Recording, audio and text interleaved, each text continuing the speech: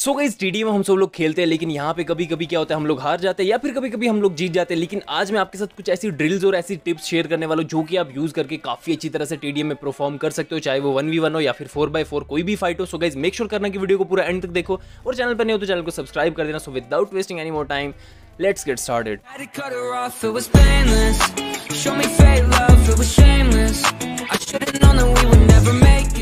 गई सबसे पहले मैं आपको मिस्टेक्स के बारे में बताऊँगा देन मैं उस मिस्टेक को आपने कैसे करेक्ट करना है उसके बारे में बताऊँगा और क्या ड्रिल आप यूज़ कर सकते हो उसके ऊपर उसके बारे में बताऊँगा। सो गई सबसे पहले मिस्टेक के बारे में बात करें तो हम लोग सबसे पहले मैच स्टार्ट होते हैं यहाँ पे आते हैं और यहाँ पे आने के बाद हम लोग देखते हैं कि सामने से एनिमी आ रहा है या फिर नहीं आ रहा है और हार्ड स्कोप लेके यहाँ पे बैठ जाते हैं और सामने वाले बंदे को मारते हैं या फिर अगर वो ओपन से आएगा तो हम उसको हार्ड स्कोप ऑन करके मारने की ट्राई करते सो गाइज़ यहाँ पे क्या होता है, अगर आप एकदम ओपन में जाके पूरा स्प्रे करोगे फोर्टी बुलेट्स का तो आप लोग यहाँ पे मर जाते होगे। सो गाइज़ अब मैं बताता हूँ कि आपने इस चीज़ से ओवरकम कैसे करना है। सो गाइज़ सबसे पहली चीज़ जो आपको कभी भी नहीं करनी अपने गेम के अंदर टीडीएम में वन वर्सेस वन खेलते हुए, या फिर कोई भी टीडीएम मैच खेलते हुए, वो ये कि आपने कभी भी 40 बुलेट्स का या फिर लॉन्ग स्प्रे यहाँ पे नहीं करना है। आपने इजीली डैमेज दो अंदर आओ वाली चीज़ को यहाँ पे यूज़ करना और आपने क्या करना है? थोड़ी सी बुलेट कनेक्ट करनी है देन वो वहाँ पे आपको प्री फायर देगा या फिर आपके ऊपर बुलेट ट्राई करेगा तो कनेक्ट करने की। देन उसके बाद आपने क्या करना है? फिर से क्राउच कर देना देन फिर से आपने उठ के उसको थोड़ा सा डैमेज देना देन फिर से बैठ जाना देन फिर से उठ के थोड़ा सा डैमेज देना इस तरह क्या होगा? आपकी जो है ना, वो काफ़ी ज़्यादा फास्ट लगेगी रिफ्लेक्सिस और आपको हेड ट्रेस करना काफ़ी ज़्यादा मुश्किल हो जाएगा सामने वाले बंदे के लिए, लेकिन अगर आप एक ही जगह पे खड़े होकर इसको स्प्रे करोगे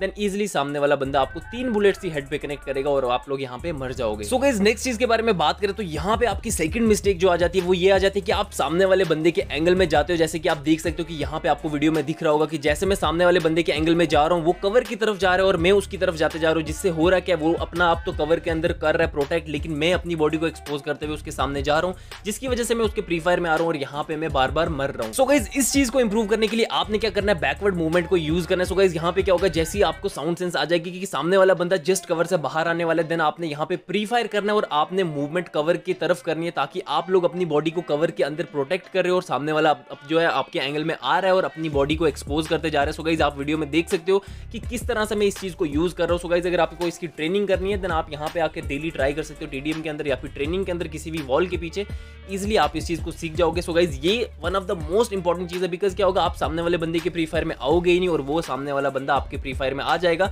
जितने भी आपको बुलेट्स वेस्ट करनी पड़े, लेकिन सामने वाले बंदे के एंगल में नहीं जाना जब वो कवर की तरफ़ जा रहा है। सो गाइज़ नेक्स्ट पॉइंट के बारे में बात करें तो यहाँ पे क्या होता है? कभी कभी लोग यहाँ कंटेनर के पीछे क्या कर रहे होते हैं? कैंप कर रहे होते तो आपको पता भी होता है उसकी पोजीशन यहाँ पे है, लेकिन आप लोग ओपन में जाते हो और सामने वाला बंदा आपको इजिली मार देता है। सो गाइज़ यहाँ पे आपकी गलती क्या होती है? एक तो होता है आपका मूवमेंट और एक यहाँ पे एक ट्रिकी सी चीज़ है, वो मैं आपको एक्सप्लेन करता हूँ कि आपको यहाँ पे कैसे अपने आप को प्रोटेक्ट करना है और सामने वाले को मारना है। सो गाइज़ यहाँ पे सबसे इंपॉर्टेंट चीज़ आ जाती है कि यहाँ पे दो ही जगह है जहाँ से सामने वाला बंदा आपको मार सकता है, या फिर राइट साइड से आके कंटेनर के, या फिर लेफ़्ट साइड से वो आपको मार सकता है। सो गाइज़ यहाँ पे क्या होगा, आपने दो पोजिशन को क्या करना है कंफर्म कर लेना कि एक तो या तो राइट साइड से आएगा या लेफ़्ट साइड से आएगा। सो गाइज़ यहाँ पे आपने जिगजैग मूवमेंट करते हुए जाना है और आपको रेडी रहना है कि आपके दिमाग में इतना होना चाहिए कि अगर वो लेफ़्ट से निकलेगा देन मुझे लेफ़्ट साइड मारना और राइट साइड निकलेगा तो आपको क्रॉस एयर पर पूरा कंट्रोल होना चाहिए कि वो राइट साइड पर आप अपने क्रॉसर करके पूरा प्री फायर करो और आपने यहाँ पे थोड़ा सा साउंड सेंस को यूज़ करना है, जैसे कि आप देख सकते हो कि वीडियो के अंदर मैं कैसे यहाँ पे कर रहा हूँ। सो गाइज़ यहाँ पे आपने इस चीज़ को ट्राई करना और यहाँ पे दो चीज़ों को सिलेक्ट करने के बाद जिस साइड से भी वो बंदा निकलेगा देन इजिली हेड कनेक्ट कर दोगे और सामने वाले की एचपी एकदम से लो हो जाएगी जैसे आप उसको हेड कनेक्ट कर दोगे या फिर बुलेट्स कनेक्ट कर दोगे। सो गाइज़ ये तीन चीज़ें इतना ज़्यादा हेल्प करने वाली हैं आपको टीडीएम के अंदर, खासकर वन वर्सेस वन के अंदर बिकॉज़ वहाँ पे सबकी इज़्ज़त दाव पे लगी होती है। सो गाइज़ यहाँ पे इस चीज़ को अगर आप अप्लाई करोगे एकदम करेक्टली जैसे मैंने बताया तो आप कहीं ना कहीं टीडीएम में काफ़ी ज़्यादा गेम्स जीतने वाले हो। आप इस चीज़ को ट्राई कर सकते हो और थोड़ी सी ट्रेनिंग करनी है देन आप जाके किसी भी वॉल के पीछे इस चीज़ को ट्रेनिंग कर सकते हो या फिर डेली आप टीडीएम्स खेलते हो,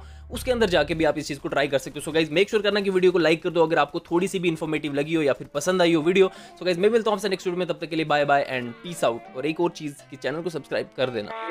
गोरी गोरी गाल, तेरी